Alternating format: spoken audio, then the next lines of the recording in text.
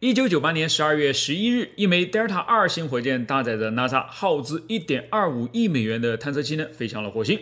原本啊，这枚重约六百三十八公斤的探测器应该在十个月以后抵达既定的火星轨道，然后开始围绕着这颗红色行星展开一系列的大气、气候和表面变化的探测。可是啊，在顺利飞过数亿公里，正当 NASA 的工程师们准备举杯庆祝之时呢，这枚火星气候轨道器却意外跌入了火星的大气，被高温点燃后撕成了碎片。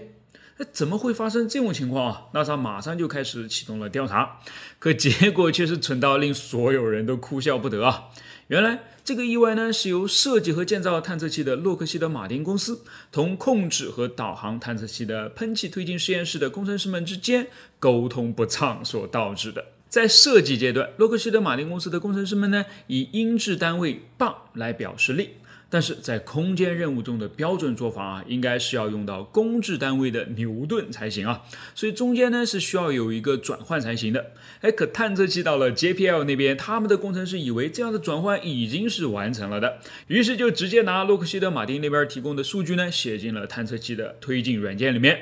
牛顿每二次方秒和磅每二次方秒混在了一起，怎么可能不出错嘛？最终的结果就是啊，探测器到达火星的轨道呢，远远低于预期，在那里与火星大气发生了剧烈的摩擦，直至烧毁。所以你看，一个简单的单位转换就能瞬间干掉一点二五亿美元，这大概算得上是小错误带来大损失的天花板了吧？